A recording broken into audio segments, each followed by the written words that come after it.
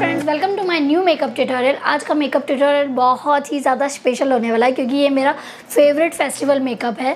Festival Navratri आने वाला है तो उसके ऊपर मैं बहुत ही अच्छा मेकअप ट्यूटोरियल क्रिएट करने वाली हूँ। तो लेट स्टार्ट चलिए हम स्टार्ट कर देते हैं अब। सबसे पहले फेस को अच्छे से प्रैप करना है। फेस को हमने प्रैप कर लिया है ऑलरेडी अगर आपने नहीं किया तो फ़र्स्ट ऑफ़ ऑल आप फेस को प्रैप कीजिए। और मैं साथ में फ़र्स्ट लगा रही हूँ मेरे फेस पर टोनर फिर मैं लगाऊँगी प्राइमर आवाज़ बहुत ज़्यादा गंदी लग रही होगी ना? टोनर मैं यहाँ पर रहने का यूज़ कर रही हूँ। मेरे पोर्स को बहुत ही अच्छे से फिल कर देगा ये। टोनर को अच्छे से पेट ड्राई होने देंगे। इसके ऊपर मैं प्राइमर लगाऊँगी। प्राइमर मैं यहाँ पर रहने का बॉलीवुड फ़िल्टर लगा रही हूँ। ये हमारे पोर्स को बिल्कुल ब्लर कर देता है और अच्छे से हमारे फेस पर बेस क्रिएट कर देता है।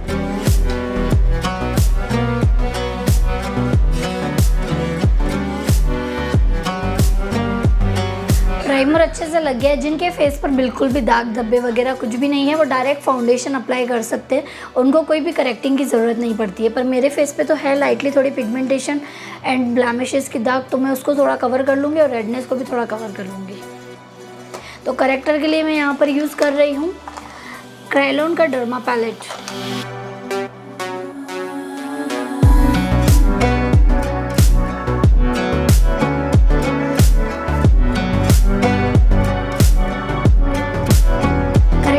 मैंने अच्छे से मेरे फेस को करेक्ट कर लिया है तो अब मैं ब्लेंडर से थोड़ा ब्लेंड कर देती हूँ ताकि ब्लेंडिंग अच्छी लगे। एंड नेक्स्ट मैं यूज़ कर रही हूँ मेरे फेस पर फाउंडेशन फाउंडेशन मैं यहाँ पर बोर्जोइस का यूज़ कर रही हूँ। एरोमेट क्रीम है जो कि बहुत ही ज़्यादा अमेजिंग है और उसका कवरेज भी बहुत अच्छा है। और मुझे नवरात्रि में यही क्रीम लगाना सबसे ज़्यादा अच्छा लगता है।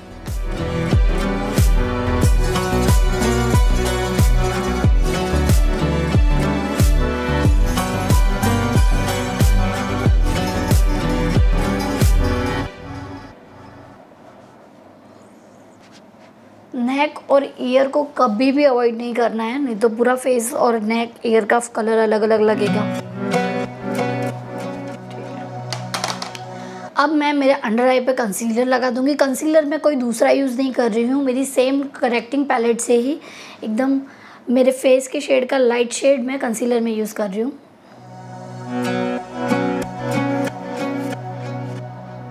एज आई प्राइमर भी मैं इस कंसीलर को ही लगाऊँगी। और अच्छे से ब्लेंड पूरे फाउंडेशन को अच्छे से सेट कर रही हूँ. नॉट के कॉम्पैक्ट से. ये कॉम्पैक्ट बहुत ही ज़्यादा अमेजिंग है और मुझे इसका वर्क भी बहुत मस्त लगता है.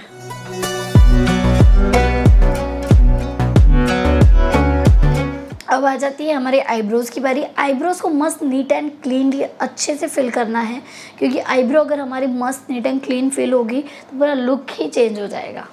आईब्रो को मैं डिफ़ाइन करूँगी, शुगर के आईब्रो डिफ़ाइनर से। आपने मैं देखा होगा कि मेरी ऑलमोस्ट वीडियो में मैं शुगर का आईब्रो डिफ़ाइनर यूज़ करती हूँ या फिर पीएसी का। ये दो ही आईब्रो डिफ़ाइनर मेरे एकदम फेवरेट है और मुझे बहुत ही ज़्यादा पसंद है। तो ऑलरेडी मेरी आईब्रो बहुत ज़्यादा थिक है, पर ध्यान में रखते हुए मैं इसको अच्छे से फिल कर दूँगी।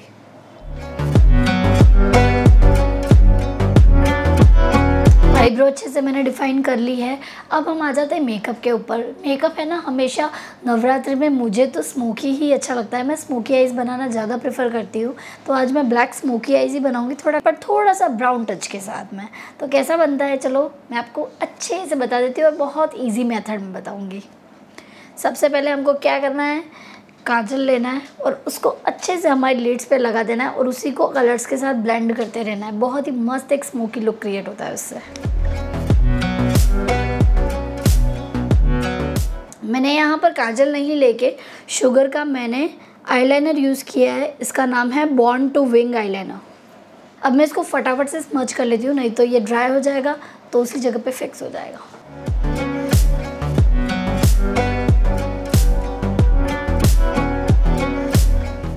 अभी तो मेरी आँखें बिल्कुल बुझ जैसी लग रही होगी, पर इसको हम धीरे धीरे धीरे धीरे कलर्स के साथ खेलते हुए और अच्छे से स्मच करेंगे। मैं लाइट ब्राउन शेड का शेड ले रही हूँ मेरी आइज़ पर लगाने के लिए। मैंने इस आई मेकअप में कुछ भी नहीं किया, आपने देखा। ओनली फॉर मैंने काजल लगाया अच्छा मस्त, जो जेल वाला आईलाइनर होता है, वो भी लगा सकते हो, काजल भी लगा सकते हो। मैंने वो जेल वाला आईलाइनर लगाया और उसी को ब्राउन शेड के साथ इतना अच्छे से स्मच करती गई, अच्छे से ब्लैंड करती गई ब्लैंड करती गई तो फाइनल लुक ये वाला आया है। अभी फेस एकदम प्लेन कैनवस है, इसलिए आपको ये थोड़ा सा अलग लग रहा होगा, पर पूरा जब मेकअप हो जाएगा तो ये बहुत ही ज़्यादा मस्त लगने वाला है। तो अब हम फेस के ऊपर आ जाते हैं। फेस पर मैं कॉन्टोर कर दूँगी। कॉन्टोर के लिए मैं यहाँ पर यूज़ कर लूँगी। फॉर एवर फिफ्टी टू की फेस पैलेट जिसके अंदर कॉन्टोर और हाइलाइटर दोनों चीज़ें अवेलेबल हैं। कॉन्टोर अच्छे से करना पड़ेगा, क्योंकि मेरा फेस बहुत ही ज़्यादा चबी चबी सा है, इसलिए। जॉ को अच्छे से कॉन्टोर करेंगे। हो सके तो थोड़े नवरात्रि तक पतले हो ही जाओ, अगर मोटे हो तो। बाकी कॉन्टोर तो लास्ट ऑप्शन है ही फेस को पतला दिखाने का। तो आप देख सकते हो मैंने फेस को अच्छे से कॉन्टोर कर दिया है। थोड़ा सा फॉरहेड को भी कर दूँगी, क्योंकि मेरा फॉरहेड बहुत ही ज़्यादा ब्रॉड है साइड से नॉट ऊपर से। और लास्ट आ जाता है हमारा नोज़ और अब मैं यूज़ करने वाली हूँ ब्लश ब्लश मैं आज यूज़ कर लूँगी। मेरी आई शेडो पैलेट सी। मैंने आई शेडो पैलेट ये वाली यूज़ की थी। फॉर एवर फिफ्टी टू की कोको बहुत ही अमेजिंग आई शेडो पैलेट है। मैं ट्रैवल में इसी पैलेट को यूज़ करती हूँ। इसके अंदर कॉन्टोर भी हो जाता है ब्लश भी हो जाता है और हाईलाइटर भी हो जाता है। तो कुछ ज़्यादा ज़्यादा ज़्यादा ज़्यादा कैरी नहीं करना होता। तो इसी में से मैं एकदम लाइटेस्ट पीच कलर का जो शेड है, वो मेरे ब्लश के लिए यूज़ करूँगी। अब आ जाती है हमारे फेस पर हाइलाइटर की बारी। हाइलाइटर मैं यूज़ करूँगी मेरी फेस पैलेट से, जो मैंने फॉर एवर फिफ्टी टू की यूज़ की थी। तो इसके अंदर से मैं सिल्वर हाइलाइटर यूज़ करूँगी, क्योंकि जो मेरा आउटफिट है वो वाइट एंड ब्लैक है तो उसके ऊपर सिल्वर ही जाएगा। और नवरात्र में सब जने ऑक्सोडाइज ही पहनते हैं, ज्वेलरी वगैरह ज़्यादातर। तो ज्वेलरी जैसी होगी, वैसा हम फेस भी रखेंगे।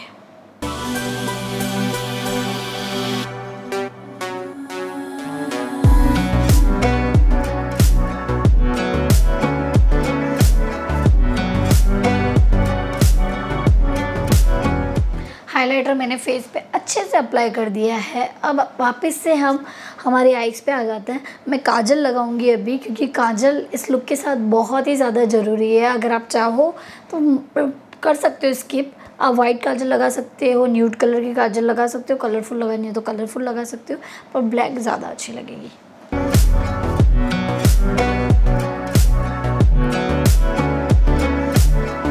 काजल मैंने लगा दी है। काजल में हमको एक चीज़ बहुत ध्यान रखनी है। हम वाटर लाइन पर अगर काजल लगाते हैं तो हमको अपर वाटर लाइन पे भी लगानी है। वो मैं ऑन कैमरा नहीं दिखा पाई, क्योंकि मैं खुद भी बहुत ज़्यादा अजीब तरीके से लगाती हूँ। मैंने बहुत सी ट्यूटोरियल्स में बता रखा है हालाँकि, और अब मैं लगाऊँगी आईलाइनर हालाँकि इसके ऊपर आईलाइनर की रिक्वायरमेंट नहीं है, पर तो भी मुझे अच्छी लगती है तो मैं लगाऊँगी। मैं यहाँ पर रहने की आईलाइनर लगा रही हूँ।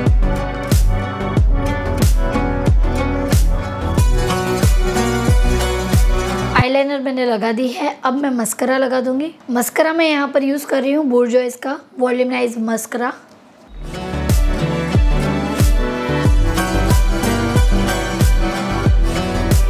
आइज़ कंप्लीट हो चुकी है मस्करा लग गया है। अब आ जाती है लिप्स की बारी। तो लिप्स को अच्छे से हम ओवरलाइन करेंगे। अगर आपके लिप्स छोटे हैं तो अगर लिप्स अच्छे हैं ब्रॉड हैं तो ओवरलाइन नहीं करेंगे, क्योंकि ओवरलाइन बहुत ज़्यादा बहुत ज़्यादा आपके लिप्स बड़े हो जाएँगे।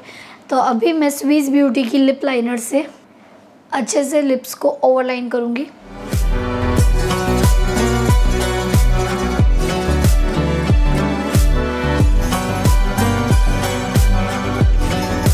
ओवरलाइन मैंने कर दिया है। अब मैं इसके अंदर लिपस्टिक यूज़ करूँगी। लिपस्टिक में यहाँ पर न्यूड कलर की करेक्टर की यूज़ कर रही हूँ।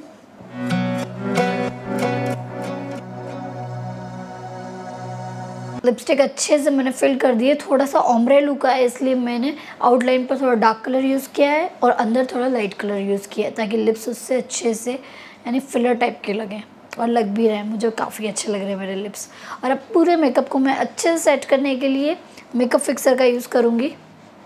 मेकअप फिक्सर मैं यहाँ पर रहने का यूज़ कर रही हूँ।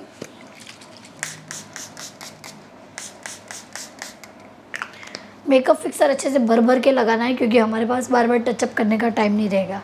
और मैं इसी के ऊपर शुगर का हाईलाइटनिंग मेकअप स्प्रे लगा रही हूँ ताकि जो पूरा मेकअप है वो और अच्छे से ग्लो करे।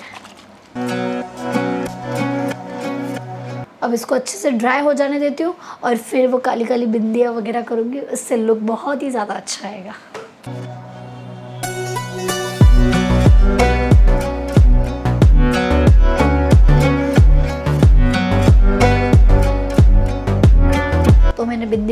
लगा दी है। अब मेन बिंदी लगा देती हूँ। फिर उसके बाद मेरे को ब्लैक कलर करना पड़ेगा, क्योंकि ब्लैक बिंदी लगानी पड़ती है इसके ऊपर। अच्छी लगती है। अब ये है हमारा फाइनल मेकअप देखो कितना मस्त ग्लोसी मेकअप किया है। अब मैं दिखाऊँगी आपको हमारा फाइनल लुक एकदम नवरात्रि वाला। सो so गाइज़ ये है हमारा फाइनल लुक आप देख सकते हो, लग रहा है ना, एकदम अभी नवरात्रि खेलने जा रहे हैं। तो ये वाला लुक आप नवरात्रि में ज़रूर ट्राई करना। बहुत ही ज़्यादा अमेजिंग लगेगा और ये वीडियो अच्छी लगी हो तो वीडियो को लाइक कर देना शेयर कर देना कमेंट करना और सब्सक्राइब कर देना चैनल को। मिलते हैं नेक्स्ट अच्छे से मेकअप ट्यूटोरियल में और इस लुक के फ़ोटोज़ में मेरे रोमा पंचाल इंस्टाग्राम अकाउंट पे शेयर कर दूँगी तो वहाँ जाके आप मेरी रील्स और फ़ोटोज़ दोनों देख सकते हो। Bye bye